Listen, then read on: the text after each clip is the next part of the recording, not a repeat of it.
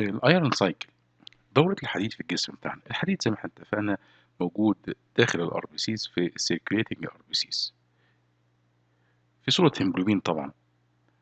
آه، طيب في نهاية العمر الافتراضي بتاعت ال RBCs اللي هي حوالي 120 يوم المفروض في خلية مهمة جدا اسمها ال macrophage اللي بنقول عليها ليها اسم آخر mononuclear phagocytic cells بيتكسر ال RBCs وتطلع منها الحديد.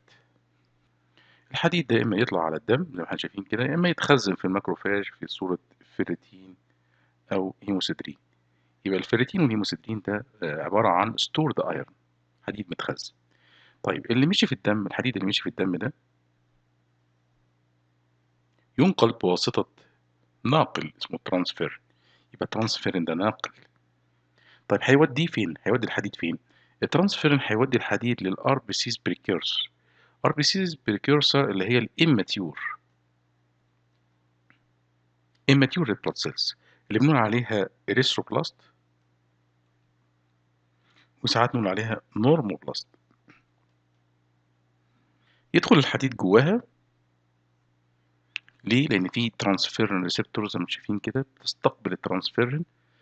فالترانسفيرين يدخل الح- الحديد يدخل لجوه.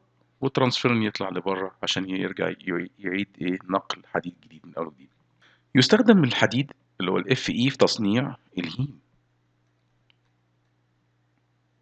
وبالتالي ال heme يتحد بعد كده مع الجلوبين ويعمل لنا ال molecule بتاعنا اللي هو هيموجلوبين.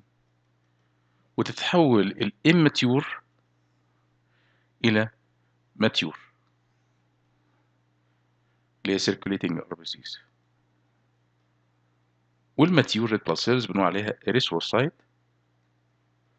أو normocyte يبقى erythrocyte mature erythroblast immature.